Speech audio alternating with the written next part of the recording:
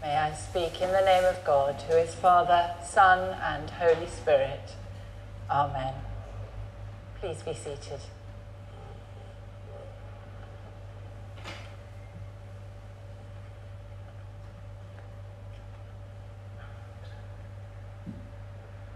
Only Luke is with me.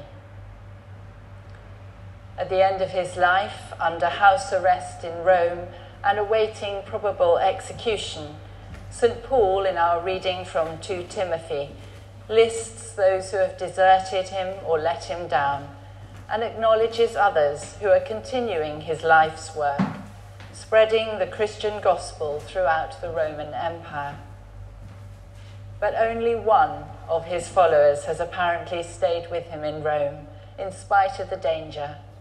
Someone called Luke, generally taken to be the gospel writer, whose feast day we celebrate today. And so, what do we actually know about this Luke the church remembers? We all know of Luke as the named author of the third gospel. Many of us may also remember being taught that Luke is also thought to have written the Acts of the Apostles, the story of the earliest church which culminates with Paul's final journey to Rome. In Acts, the author often writes in the first person plural, we, suggesting that he shared in at least some of Paul's more dramatic experiences and journeys, including that last journey to plead his case before the emperor in Rome, which would corroborate the statement that Luke was with him at that point in Rome.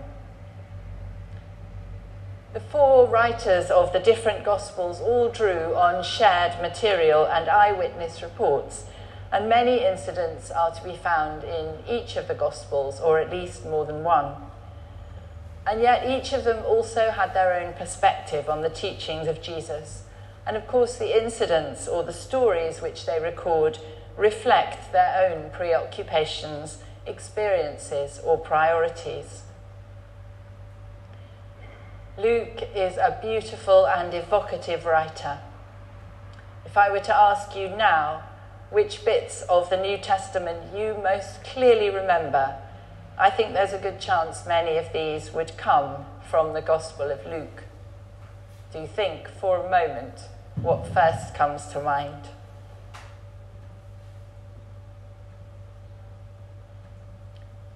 Perhaps you thought of the parables of the Good Samaritan or the prodigal son, the nativity images of the stable, the angels and the shepherds, or the beautiful canticles, the Magnificat, Benedictus, and Nunc Dimittis, all of which are found only in the pages of Luke's Gospel. But what was Luke himself like?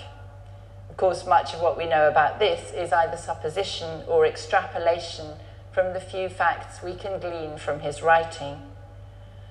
Luke introduces both the Gospel and Acts in the form of a letter to an unknown person, apparently of rank, whom he addresses as Most Excellent Theophilus. He explains, I decided after investigating everything very carefully from the very first to write an orderly account for you so that you may know the truth. And orderliness does indeed shine through much of Luke's writing. He is keen to place the events of Jesus' life within a concrete, chronological, historical setting. Even those familiar words from the beginning of every carol service do precisely that. In those days, a decree went out from Caesar Augustus that all the world should be registered.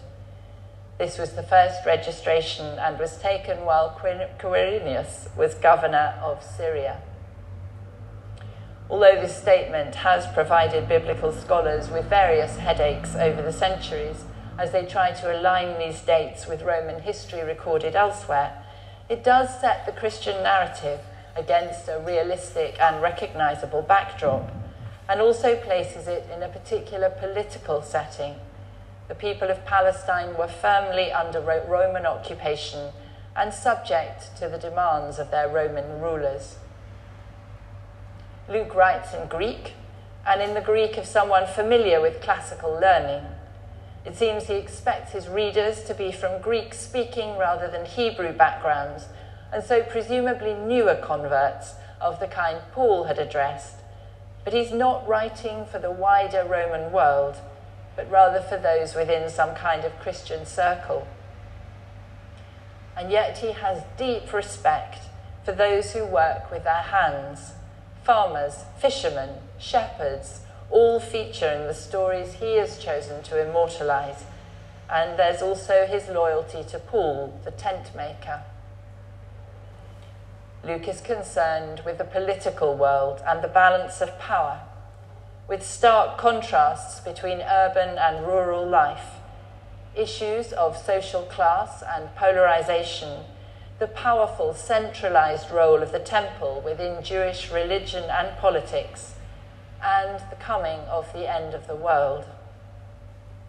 All these were live issues within first century Judea, but it's hard not to see in this list many echoes of the society we live in today. The anxieties and the concerns, especially of the younger generation, and the subjects of our ongoing political and economic debates. Perhaps it's this timeless aspect of many of Luke's concerns which keeps his gospel fresh and poignant for modern readers, and his stories and powerful songs so memorable. As our gospel reading showed us, Luke was also committed to the task of mission and of creating new disciples. Perhaps those travels with Paul had shown him the power of the personal sharing of one's faith in Christ as Paul created and built up Christian churches in so many of the cities of Asia Minor. As he recounts the stories of Jesus, he also includes Jesus' instructions to the disciples to do precisely what Paul himself did later go out like labourers into a potentially rich harvest, spreading the gospel of Christ, reflecting God's love and healing power and reminding them of the coming of his kingdom. They were to be single minded, faithful, and committed, not being distracted on the way to their destinations. And perhaps this too reflects something of Luke's admiration for Paul as well as for Jesus himself. I wonder if this single mindedness also helped Luke himself to remain with Paul in spite of all the risks it must have entailed. Luke sheds light on Jesus' care and concern for the suffering, the downtrodden, and all who are victims of prejudice and hostility. But he also encourages us.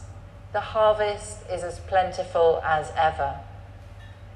We too can see around us, especially in present circumstances, people in need of comfort and peace and justice people for whom the message of God's love and Christ's redemption could bring hope and reassurance. Luke's transmission of Jesus' words is clear Go out, taking nothing with you for yourself, but bringing peace and healing to all whom you meet, and telling them of the joy which can be experienced in following Christ. Amen.